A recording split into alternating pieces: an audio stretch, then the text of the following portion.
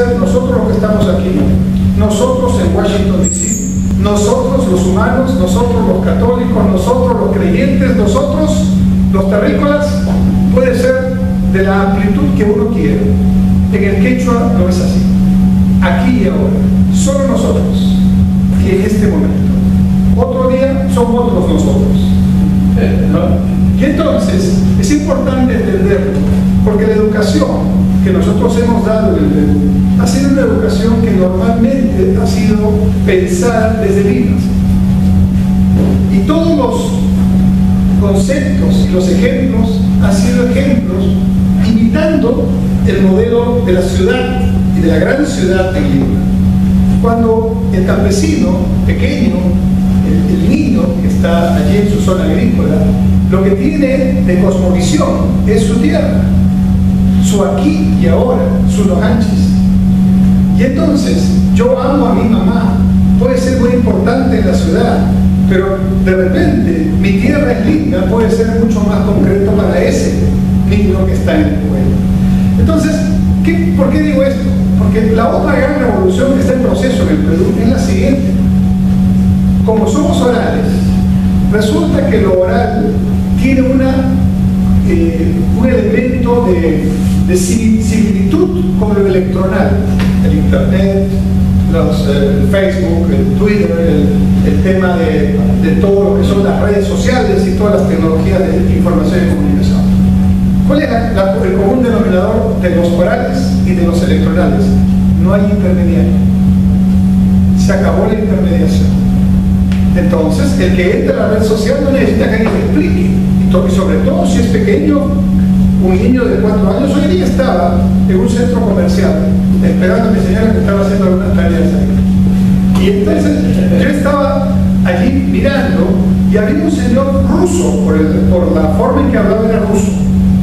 Y estaba con su pequeña hijita que yo le calculo debe haber tenido unos cinco años. Y él trataba de entender su celular. ¿no? Y la niña vino y estaba ahí en este tema junto conmigo, nos habíamos sentado juntos la señora él también estaba en los menesteres. Y entonces vino la niña, le, le, dio, le dio el celular al papá y le hizo así, le explicó. Y yo no entendí nada porque estaba en ruso, pero lo que sí entendí son los gestos. La niña de 5 años le resolvió el problema al papá. Esta generación, estas generaciones son electorales y son directas y eso es tremendamente importante para salir de la pobreza, porque la mayoría de los pobres que quedan en el Perú, pobres, 23%, son pobres orales. Son pobres que están viviendo en centros poblados muy pequeñitos, en zonas muy aisladas. ¿Y por qué son pobres? Porque ahí no puedo llegar con luz, con agua, porque la red no llega ahí, porque son muy poquitos. Yo tendría que ponerlos en algunas ciudades más grandes para ponerles el servicio pero así distribuidos y diseminados no llego ni con el agua, ni con la luz, ni con el colegio, ni con el centro de salud, ni con el Banco de la Nación, ni en Internet. Pero como son orales, si yo logro por algún sistema, y hay varios, puede ser satelital, puede ser por microondas, puede ser por la fibra, puede ser por la red terrestre de televisión, la digital, por el medio que sea, si yo les pongo tecnología, ellos van a dar un salto cualitativo más rápido que el que tuvimos nosotros con el libro. Entonces, la desventaja de ser pobre y de ser país con muchos temas de desarrollo pendientes es esa, que perdimos décadas y sí. La ventaja es que miramos a todo el contexto, el benchmarking que le llaman. Miramos a todos y decimos quiénes lo hicieron bien, quiénes se equivocaron, y luego nosotros empezamos a tomar las decisiones aprovechando esa experiencia y esa experiencia. Y eso es lo que Perú está haciendo. Todavía de una manera desordenada, pero con todo nuestro desorden y con todo nuestro, que llamamos nosotros, ruido político. Todas las noticias hoy día Perú está convulsionado porque han capturado a una persona en Bolivia que supuestamente es una persona que está vinculada al gobierno. En fin, todas las noticias son de ese asunto. Pero lo importante, el mensaje que les quiero dejar, que es mi total convicción, es que el Perú sigue avanzando en sus aspectos sustantivos independientemente de estos temas. Y entonces, ahora, Yo digo, con la tecnología en cierre y aún con todos los desafíos que tenemos, el Perú de hoy está mucho más sólido en sus convicciones, mucho más seguro de su propia historia y su autoestima, y con mucha más esperanza en que se pueden lograr cosas importantes si se trabaja como se debe hacer. El Perú de hoy, por supuesto, tiene muchos problemas pendientes, pero esto es una novedad. Nunca tuvimos 16 años, 17 años continuos de crecimiento. Nunca tuvimos cinco gobiernos que están vinculados en estos 17 años que mantuvieran una política de Estado sin ponerse de acuerdo. Allí está Fujimori, allí está Paniagua, Toledo, Alan García e incluso el presidente Humala, que entró con un discurso aparentemente muy radical, pero no cambió el modelo económico en sus aspectos sustantivos. Y lo que yo digo es, esto no es casualidad, esto ocurre porque cerca del 80% de la población ya no quiere experimentos, ya no quiere que le digan vamos a hacer algo romántico que alguna vez se planteó. Lo que quiere es trabajo, lo que quiere es crecimiento y lo que sabe y aprendió es que para que ese crecimiento genere trabajo tiene que venir inversión. Y la inversión, sea la grande o la pequeña del pequeño comerciante, tiene la misma lógica. En el tiempo que voy a invertir, quiero tener reglas de juego más o menos certeras, claras, para que me retorne mi inversión y tenga una razonable ganancia. Por supuesto, generando empleo y condiciones sociales adecuadas. Ese aprendizaje es extraordinario. Todavía algunos peruanos, poquitos, no lo entienden. Pero estamos en un pedacito de la historia de estos 10.000 años que he contado, estamos en un pedacito de la historia. No podemos pretender que todo cambie en tan pequeño pedacito. Pero sin embargo, es tremendamente grande lo que está pasando como cambio, como cambio positivo. Segunda parte, ¿qué viene? qué cosa es lo que esperamos del Perú que está con estos cambios tan positivos. Lo primero que viene es que no el próximo gobierno, sino los próximos cuatro o cinco gobiernos van a tener la obligación, y creo que la convicción, de mantener el modelo económico. Yo no veo ninguno de los aspirantes en este momento para la elección nacional, que es el próximo año. 2016 hay elecciones para presidente congresistas. Yo no veo ninguno que siquiera esté pensando en cambiar algo del modelo. Cambiarlo para mejorarlo, pero nunca para retroceder. Eso de por sí ya es un activo, una fortaleza. Y creo que la mayoría del pueblo peruano lo entiende así. Hay que ponerle un poquito de velocidad. Parafraseando al, buen conductor que está en el auto, hace unos años estábamos en quinta velocidad ya el carro iba con una fuerza propia y el motor, digamos que sufría menos, ¿verdad? Ya iba utilizando todas las ventajas de la física y la dinámica propia de eso. Y el carro está un poquito resentido, la dirección es la misma, pero estamos en algunos temas a contramarcha. No hemos parado, seguimos caminando, pero estamos indebidamente haciendo sufrir mucho al motor. ¿no? Hay que pasar rápidamente a tercera, poner cuarta y ojalá pronto quinta.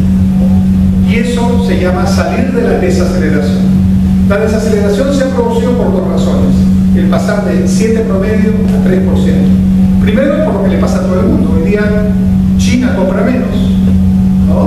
Y eh, Europa está en crisis.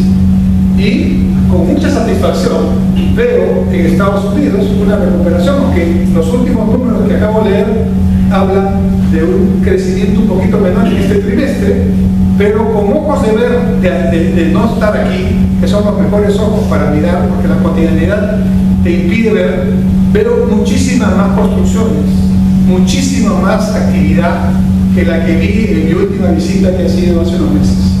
¿No?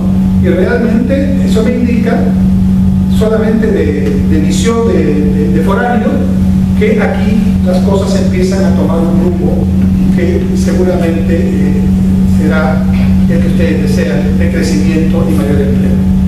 Como tienen también año electoral pronto, no me queda ninguna duda que ese proceso va a continuar, porque proceso electoral como, el que viene, si algo hay que hacer es generar un espacio más positivo hacia ese tema. Bueno, pero el contexto internacional, mirando a Perú, es que todavía en promedio del mundo, y sobre todo China, están comprando menos. Y eso significa que la mitad de nuestro esfuerzo está con menos ingresos por los precios. Aunque estamos produciendo más, estamos recibiendo menos por los precios. Pero la otra mitad del problema no es el tema internacional, es el tema interno. Allí tenemos que ponerle eh, mayor velocidad, decía, pero también convicción para poder ya entrar en una etapa más fina de crecimiento, donde no solo hay que crecer, sino hay que crecer en sectores con valor agregado. ¿no? Ahí hay que trabajar algunos sectores extraordinarios que tiene el Perú, milenarios también, como el textil confecciones, donde tenemos toda la industria completita, desde la materia prima original y de calidad hasta la tecnología, el servicio y el marketing, o sea, la logística intangible, la cadena completa. Así también, también la tenemos en el sector agropecuario agroindustrial. Uno de cada cuatro espárragos que se consume aquí es peruano. ¿no? Y en ciertas épocas del año, creo que todos los espárragos que consumen ustedes son peruanos. ¿No? Y sobre todo entre noviembre y febrero. ¿no? Es, es que Perú tiene una condición bendita y hay una frase en el Perú que, siempre usamos que decimos Dios es peruano. Y lo, que, ocurre es que en España podemos tener más de dos cosechas al año. O sea, podemos tener cosecha cuando en otros ambientes por el clima no se produce. Eso se llama la ventaja de contraestación o el off-season. Y nosotros tenemos off-season en casi toda nuestra producción agropecuaria. Y bueno, como tenemos ya un tratado de libre comercio, el asunto es utilizarlo. Y tenemos 19 tratados de libre comercio, perdón, 19. Solo nos faltan cuatro que están en negociación en este momento. Nos falta la India, nos falta Rusia, nos falta Sudáfrica y Australia. Y punto, ya está todo. Entonces ahora el problema no es acceso. Aquí está acompañado Luis Alberto Sánchez porque hemos trabajado juntos en el tema de comercio en las épocas en que no había ni un solo tratado y había que venir aquí a Estados Unidos a negociar el textil una vez por año. Y, era todo un tema, toda una logística. Ahora no, son otros tiempos ¿no? pero se sembró en aquella época para que ahora podamos tener esta circunstancia tan feliz. Ahora lo que tenemos que hacer es diversificar la producción en el Perú no solo la costa, sino la sierra ya no hay sitio en la costa para el pájaro y palta. La palta has tan bonita, tan buena que tenemos. Y ahora hay que llevar la palta a la sierra. La bocal, ¿no? y esta, esta palta es de primer, de primer nivel. Y ahora tenemos que poner la sierra a producir la palta. Y para eso necesitamos cortes transversales de carretera para que esa producción llegue a tiempo al aeropuerto o al puerto entonces la producción agropecuaria la producción derivada de metales no ferrosos, tenemos todos los metales que se les puede ocurrir, todos. La producción hidrobiológica, la pesquera, la producción gastronómica de servicios turísticos, la producción vinculada a la metal mecánica y la producción vinculada a la artesanía. Estos son los sectores que hay otros, pero los principales, que van a generar ese valor agregado que ahora necesitamos para aprovechar los tratados de libre comercio. Y resulta que hasta aquí ya van los temas. Salir de la desaceleración y aprovechar los tratados para lograr